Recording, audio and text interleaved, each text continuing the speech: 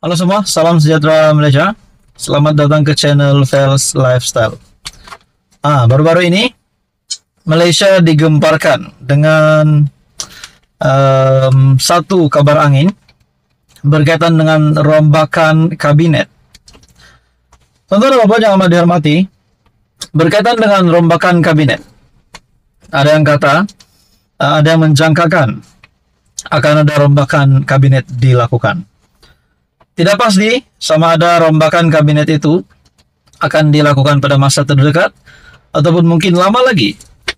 Tetapi menurut beberapa pemerhatian uh, beberapa pandangan dari pemerhati politik menyatakan um, ada yang bersetuju sudah tiba masanya untuk Datuk Seri Anwar Ibrahim merombak kabinet.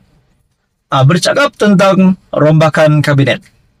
Menurut Anda, Siapakah menteri yang patut ditukar?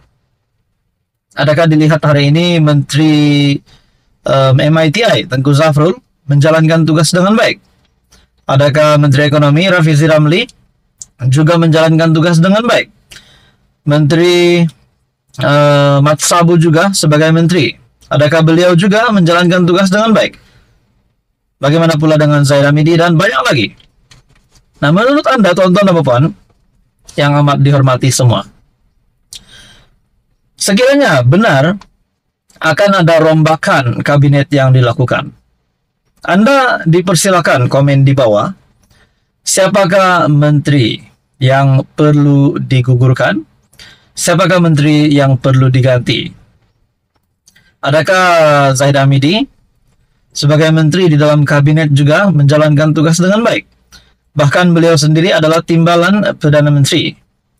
Begitu juga Mat Sabu sebagai menteri.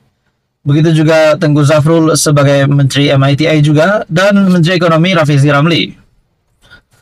Bagaimana pula dengan Menteri Pengangkutan Tuan YB Tuan Ulok Siu Fuk, Menteri Pertanian dan Keterjaminan Makanan Datuk Seri Haji Muhammad bin Sabu, Menteri Ekonomi Rafizi Ramli, Menteri Pembangunan Kerajaan Tempatan Ngakorming, Menteri Pertahanan um, Tokmat, Menteri Kerja Raya Alexander Natalinggi, Menteri Dalam Negeri Saifuddin Nasution, Menteri Perdagangan, Menteri Pelaburan Perdagangan dan Industri Datuk Seri Tengku Zafrul, Menteri Pendidikan Tinggi Datuk Seri Muhammad Khalid bin Nordin, Menteri Sains, Teknologi dan Inovasi Tuan Chang Li Kang, Menteri Pembangunan Wanita, Keluarga dan Masyarakat, Dato Sri Haja Nancy binti Syukri, uh, Menteri di Jabatan Perdana Menteri, Undang-Undang dan Reformasi, Dato Sri Azalina Otman, Menteri Sumber Asli, Alam Sekitar dan Perubahan Iklim, Tuan Nik Azmi bin Nik Ahmad, manakala Dato Iwan Benedik, Menteri Pembangunan Usahawan dan Koperasi, Menteri Pelancongan Datuk Seri Tiong King Sing, Menteri Luar Negeri Senator Datuk Seri, Seri Diraja, Dr. Zamri bin Abdul Kadir, manakala Ahmad Fahmi bin Muhammad Fazil, Menteri Komunikasi dan Digital, Puan Fadlina binti Sidek, uh, Menteri Pendidikan, Menteri Perpaduan Negara pula Datuk Aaron Ago, anak pedagang, dan beberapa lagi senarai menteri yang lain. Adakah di antara beberapa senarai menteri yang lain dan juga yang tidak sempat disebut? Ah, Menteri Menteri Sumber Manusia Tuan Siva Kumar juga. Adakah senarai menteri ini terdapat beberapa um, tapisan yang perlu dilakukan setelah 10 bulan kerajaan perpaduan ditubuhkan? Saudara-saudara, ada yang kata Rafizi Ramli juga terima kecaman sebagai Menteri Ekonomi. Ada juga mengecam Datuk Seri um, Tengku Zafrul. Tidak lari juga begitu juga dengan Mat Sabu juga pernah dikecam. Nah, saudara-saudara, bukan mudah untuk menjadi seorang menteri. Sudah pasti kecaman diterima, bahkan pujian juga sudah pasti tidak di, uh, dapat didafikan juga diterima. Ada yang kata beberapa menteri di dalam kabinet kerajaan perpaduan tidak buat kerja.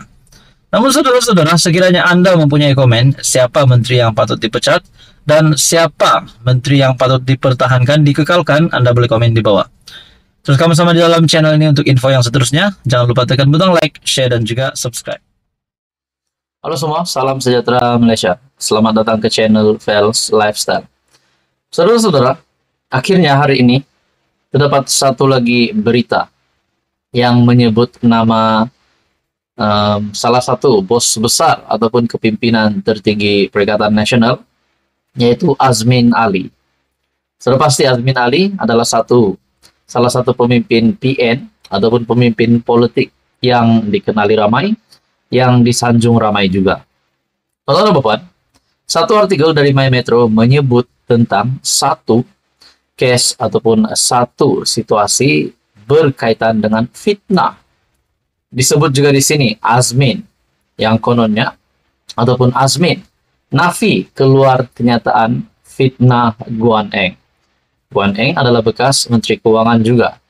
Tonton apa dalam artikel ini, Datuk Seri Muhammad Azmin Ali menafikan dakwaan beliau mengeluarkan sebarang kenyataan berunsur fitnah terhadap bekas Menteri Keuangan Lim Guan Eng ketika berucap pada kempen PRU 15 di Lunas Kedah pada 12 November tahun lalu.